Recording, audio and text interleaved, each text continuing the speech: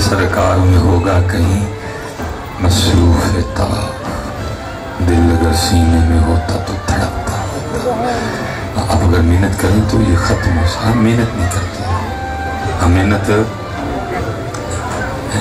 इसलिए बस एक बार पढ़ेंगे। कोशिश कीजिएगा कि जिसम ही छांगा मांगा रह जाए, बाकी सारा कुछ ही मदीना चला जाए। सोचे भी, दिल भी, रूह भी है। फासिलों को तकल्लुफ है। हमसे अगर हम भी बेबस नहीं, बेसहारा नहीं। हाँ ये होता है। हम मेहनत नहीं करते।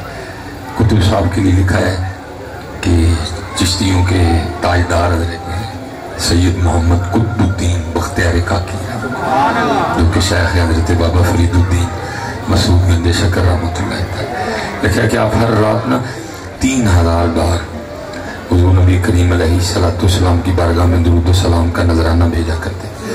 याद रखना जी, साढ़ा तीन करोड़ वारी पढ़िया एक पासे कुतुब साहब के एक बार पढ़े नहीं बोल सकते हैं।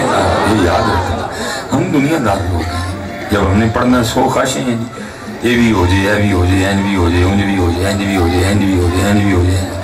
लेकिन जब वो पढ़ते थे तो सिर्फ़ याद ही होता था। इंज उंज सज्जा खपा उठते थले कुछ नहीं। इसलिए फिर मेरे शेख फरमाया करते थे, सोने का एक टुकड़ा लोहे के एक मन पे भारी। सोने का एक टुकड़ा लोहे के एक मन पे भारी। आशिक का एक सजदा जाहिद की उम्र सारी है। असी करोड़ बारी भी पढ़ी है ना असी कुतुब साहब एक बार पढ़े नहीं पहुँच सकते, क्योंकि वो आशिक का दुरूद था। हम दुनियादार हैं। दुनियादार का जहाँ और है, आशिक का जहाँ और है।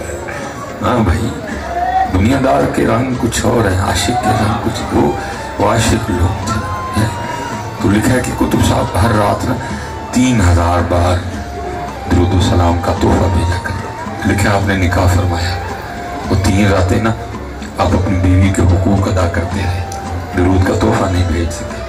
तो लिखा है, तीसरी रात अपने अख्ताम की तरफ़ रवाना थी और आपके मुरीद को ख्वाब में हजूर नबी सलाम की ज़रूरत हुई। फरमाया अपने शेख से कहना क्या हुआ? तीन दिन गुजर गए, तेरी तरफ़ से दरूद ही नहीं आ रहा है।